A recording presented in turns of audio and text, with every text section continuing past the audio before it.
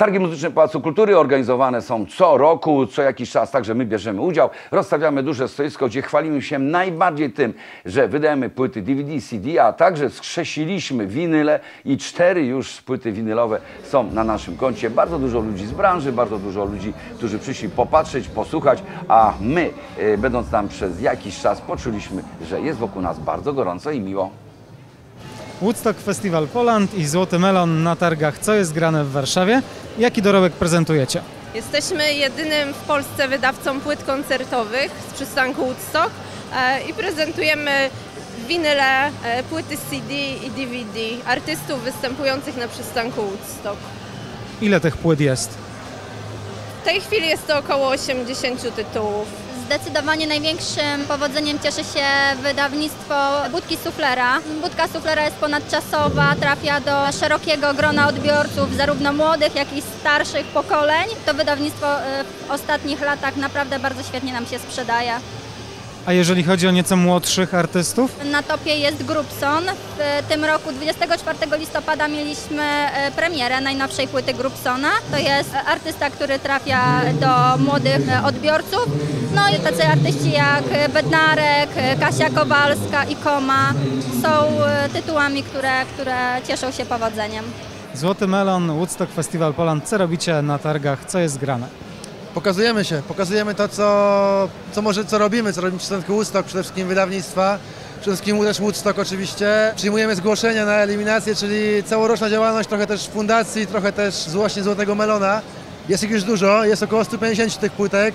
No i też jakość eliminacji, czyli to, że są pełne kluby, gramy na najlepszym sprzęcie, gramy dla pełnych klubów, dla pełnej publiczności, powoduje to pewno też to, że ten oddźwięk od artystów, którzy zgłaszają jest dużo większy. No i jeżeli organek czy artyści typu, nie wiem, Wire czy Marcelina, którzy grali na eliminacjach, przekazują dalej e, dobre informacje, a mogą przekazać tylko dobre informacje a propos organizacji całych eliminacji, no też możemy na to liczyć, że artyści no, będą się zgłaszać w dużo większej ilości. I ci znani, i ci mniej znani, i ci początkujący. Nie wszyscy się dostaną, ale warto jest próbować. Warto jest próbować w jednym roku, nie uda się, warto jest próbować w kolejnym roku. Może się uda. Byli tacy, którzy próbowali kilka lat z rzędu, udawało się po trzech, ale było warto. Kabanos przykład.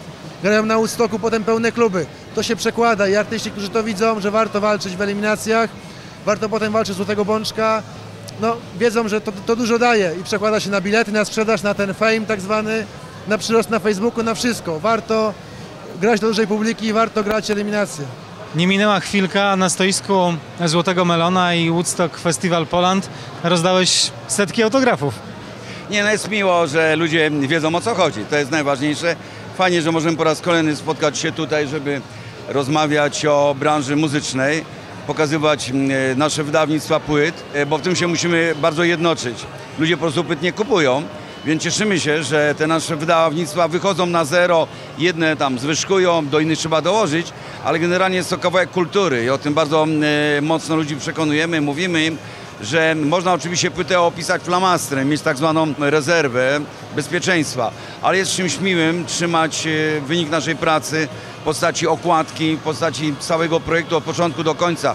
Wszystko robimy my, czyli robi to Złoty Melon, nikomu tego nie zlecamy. Robią to ludzie, z którymi się bardzo przyjaźnili, z którymi jesteśmy, począwszy od Dzikiego, który te płyty masteruje, skończywszy na miejscu, gdzie te płyty są tłoczone. W związku z tym każdy, kto wie o co chodzi, jest tutaj takim naszym przyjacielem. To jest taka praca, począwszy od marketingu, skończywszy na tym, że to sprawia przyjemność. To jest kawałek naprawdę polskiej kultury. Na samym końcu każde z tych wydawnictw jest schowane w w szafie pancernej, bo o tym mówimy, ale to tak jest, że e, my wszystkie wysyłamy do Biblioteki Narodowej, bo taki jest ciąg zdarzeń, a to potem zostaje.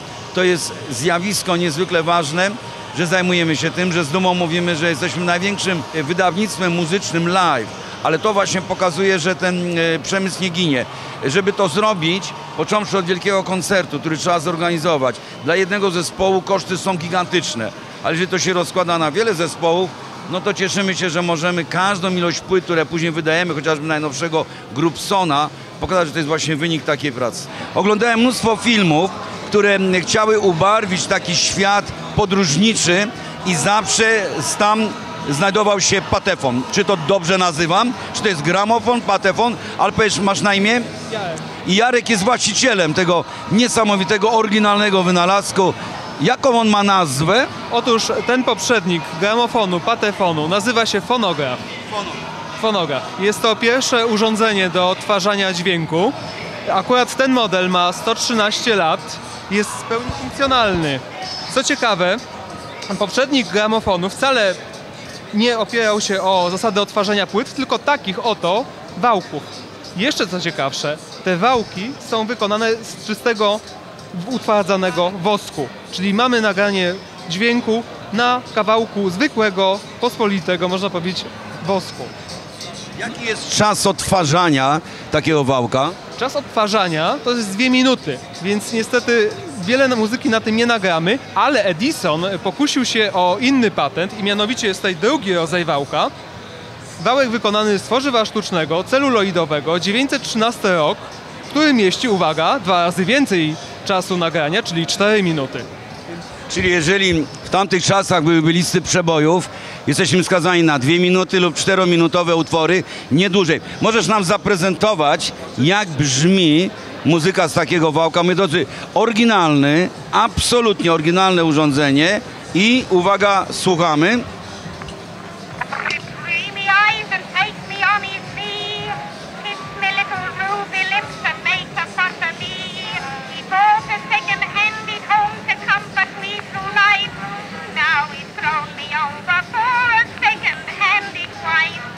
Co mieści się w środku tej skrzynki?